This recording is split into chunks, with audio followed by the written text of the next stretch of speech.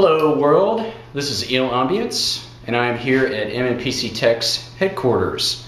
Uh, today we're going to show you how to apply a realistic rust effect to your favorite computer gear. Uh, what we have here is a finished you know, little miniature power supply that we applied a rusted out kind of steampunk style look to it.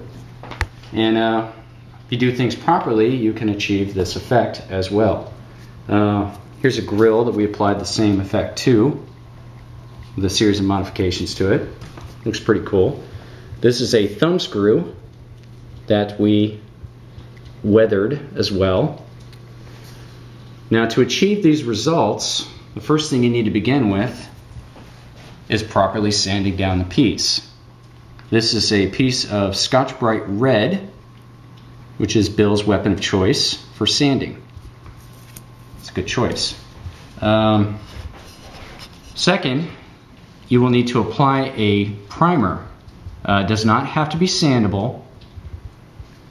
Um, just follow the directions on the can, etc., etc. Make sure your piece is properly primered. Uh, it's especially good to primer any piece that can actually rust um, because the fake rust that we apply to it will actually begin to really rust the piece if it's on something that's corrosive, namely steel. Now, let's get into some safety gear. Obviously wear proper eye protection. It's always a good idea. Proper gloves is a good idea as well because this stuff is toxic. Proper respiration. You know, you want to be able to breathe after you're done with this. Now, some of the tools we're going to use here to apply this rust effect. Um, the best results were achieved with a sponge, a sponge brush. Uh, you can use a regular brush if you want to, uh, but the sponge brush gives it more of a random pattern to the splotchiness.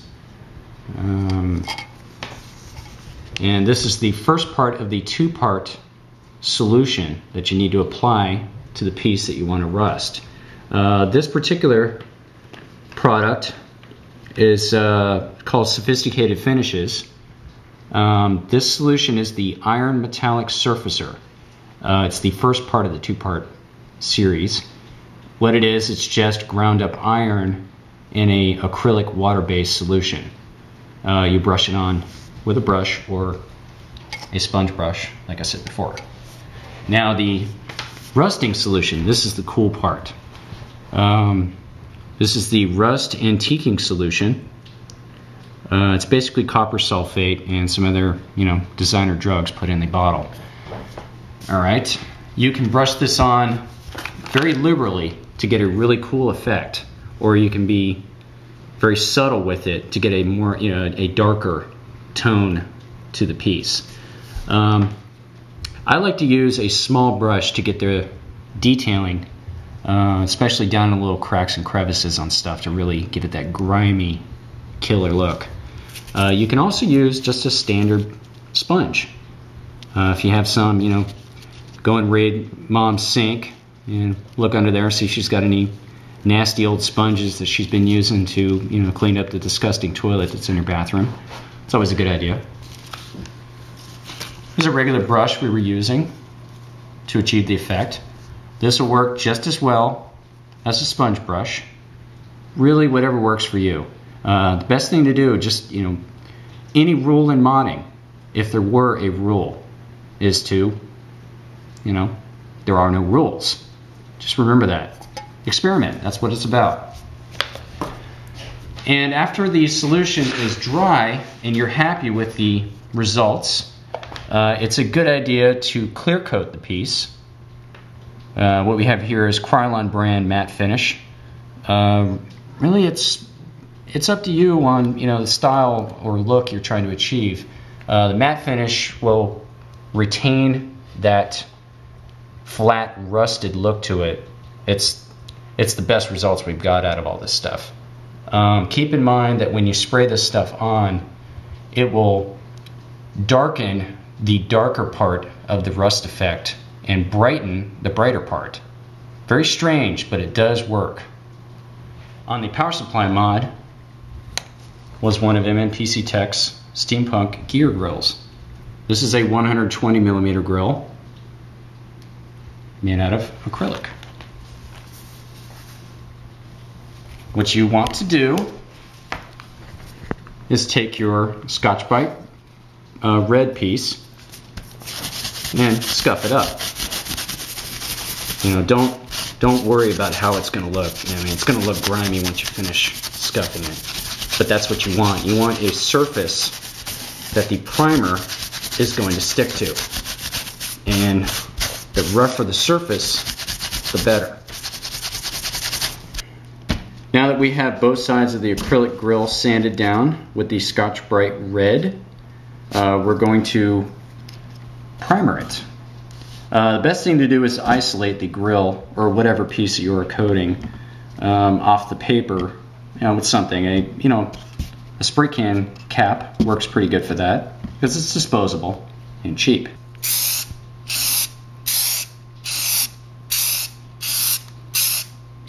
Again, safety tip, make sure you are wearing your respirator mask.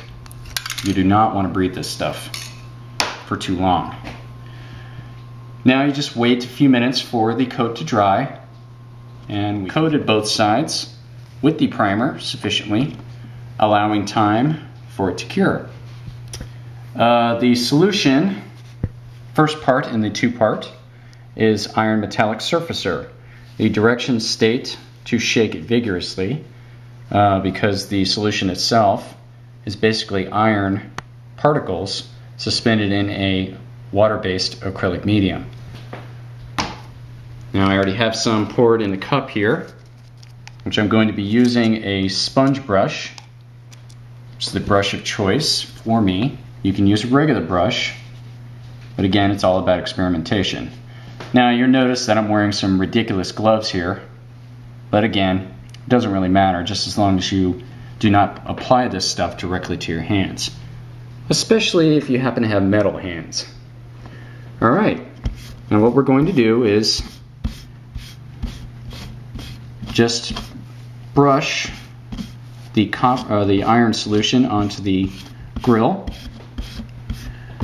Again, coating surface that you would ultimately like to rust. It's not exactly rocket science, but it gets the job done.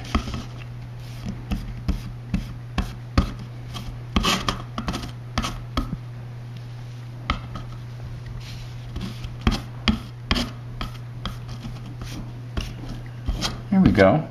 Again, it does not have to be perfect the more random patterns in the application, the better. Because Rust usually does not maintain a pattern, it's random.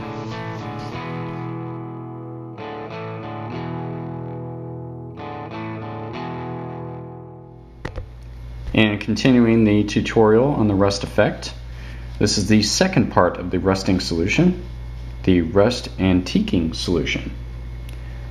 Now, there's no real set method on applying this stuff. It's pretty much about experimentation. Uh, what I have found is you get some interesting effect by applying it to a household sponge. And on the dried piece that you've previously coated with the iron solution, uh, you can just start blotching the copper sulfate onto the piece. The more random the pattern, the more natural the rust effect will actually look. Now to get really fine details, uh, you can use a small brush like this. Oh, look at this, this is interesting the metal that's on the brush itself is corroding because of the solution on the brush. So yes, this stuff really does rust. I put a little bit on the brush like so.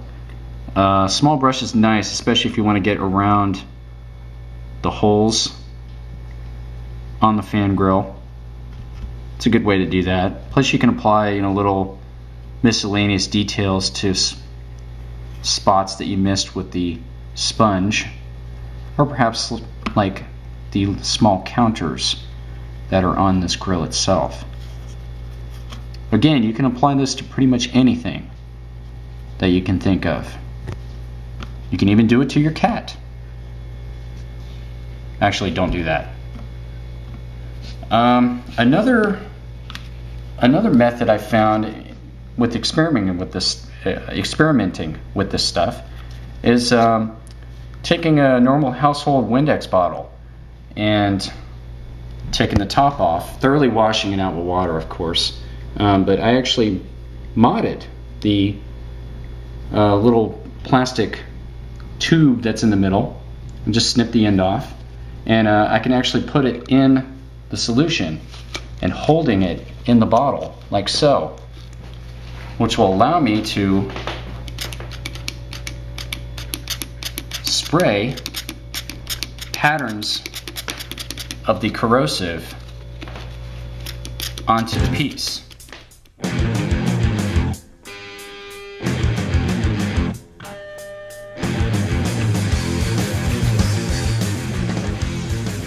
And here we are with the results of the rust effect.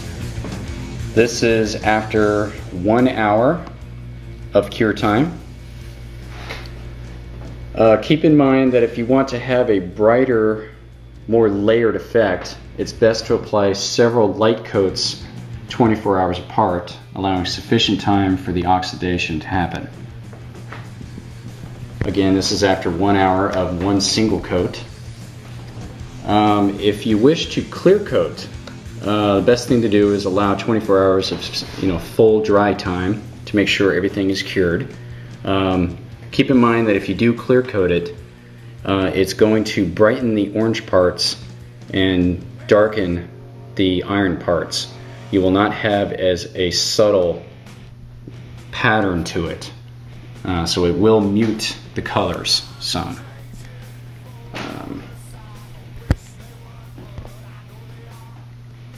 There you have it. Brought to you by MNPC Tech and E.E.L. Ambiense. Good night.